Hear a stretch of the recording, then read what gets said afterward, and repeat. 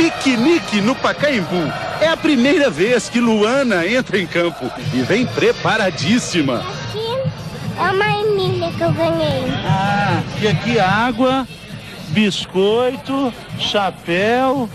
Caneta, papéis pra Ah, o jogo para ela começa antes, ao lado do irmão e de uma centena de outros meninos, ela espera o time. E lá vem o Corinthians. É uma festa, mas para ela fica faltando alguma coisa. Eu não. Não deu.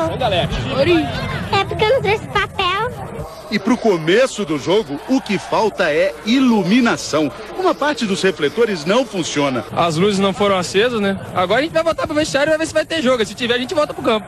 Quase uma hora depois, a situação é resolvida. Estão no vestiário batendo bola, estamos aguardando, né?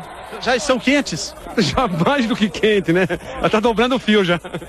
Esse superaquecimento das duas equipes altera a voltagem do jogo. É um choque elétrico nas duas defesas. A pressão corintiana tem força, mas o ataque do Internacional tem feijão. Com habilidade, ele faz 1 a 0 Inter.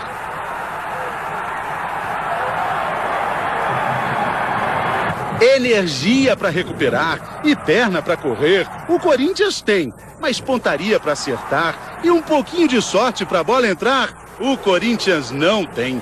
Mas tem o segundo tempo, tem a torcida e tem também, finalmente, um ataque de toque certo e um certíssimo garoto, Wilson, para fazer o seu primeiro gol no time profissional.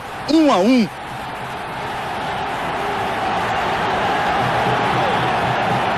inesquecível, claro, tanto quanto o segundo. Mais um ataque perfeito, tudo certinho e ele de novo, também no lugar certo. E no mesmo jogo, o segundo gol na carreira profissional. 2 a 1, um, inesquecível. E a pressão continua. Só que agora o cruzamento encontra um outro garoto, agora com 16 anos, Jô.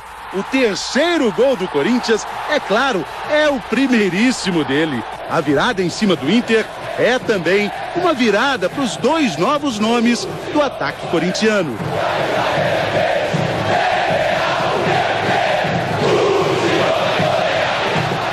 Há poucos dias os dois tremiam de medo, suavam frio com a possibilidade não de entrar em campo e jogar pelo Corinthians, mas com as entrevistas que teriam que dar antes e depois das partidas. Mas depois do jogo de hoje, essa história vai mudar. Agora essa timidez aí vai sumir, vou dar várias entrevistas. Muitas e muitas. Muitas várias. E são várias, muitas, são tantas entrevistas quase ao mesmo tempo. Estamos chegando, João e Wilson.